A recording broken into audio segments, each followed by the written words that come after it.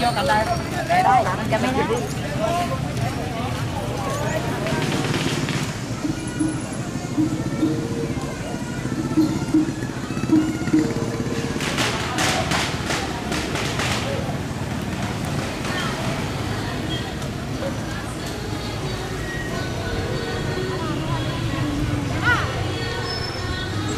Thank you.